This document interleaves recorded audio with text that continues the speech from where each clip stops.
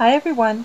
Today I'm going to show you how to create this summer look with citrus colors and a daisy design.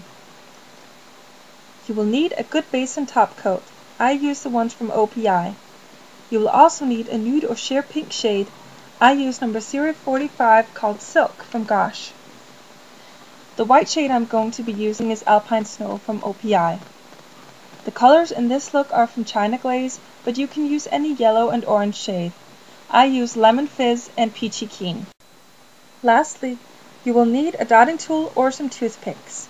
Now let's get started!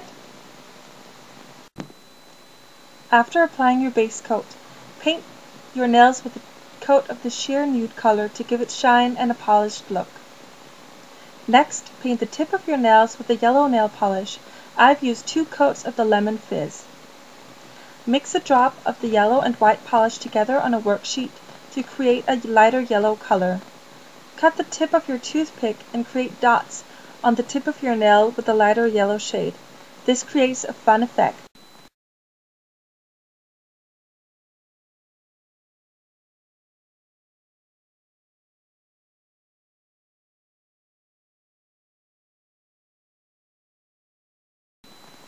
Now make a few drops of white polish on your worksheet.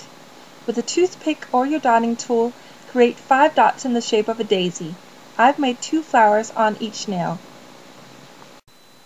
You can control the size of your flower petals by cutting less off your toothpick. For example, on my little finger, I've created smaller flowers to fit two. With your orange nail polish, make a dot in the middle of the flowers. Apply your top coat, and you're done!